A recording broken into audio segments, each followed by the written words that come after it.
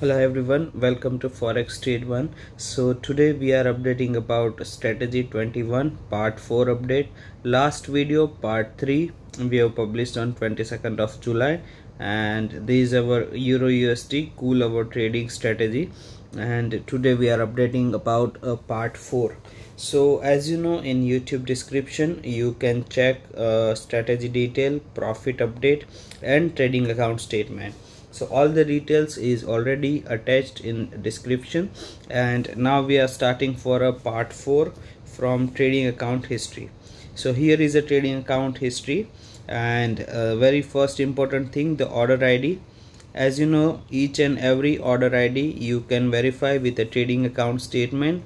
So you can come to know that this is the same account consistently we are updating. And this account is progressing so now we will scroll down so we can see what is the current profit. And here you can see current profit is $13,956 here it is showing the current balance which is $23,956 and uh, as the profit has increased so that's why we are creating a part 4 we will see the trading statistics with the trading account statement that what is the current risk reward ratio and what is the current uh, uh, uh, graph it is going on and how much profit has increased. So here we have a complete trading account statement. This is the part 4 update. So seven pages of statement uh, statement it is uh, attached. And here is the graph. As you can see it is constantly it is going up.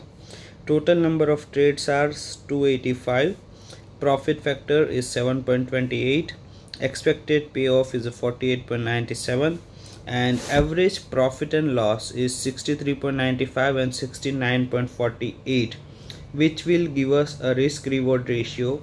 And the risk reward ratio for this strategy is 1 is to 0.92 and calculating a break even point from this average profit and loss is around 52 percentage so comparing with current account accuracy which is 88% we can say we are up by 36% than the requirement.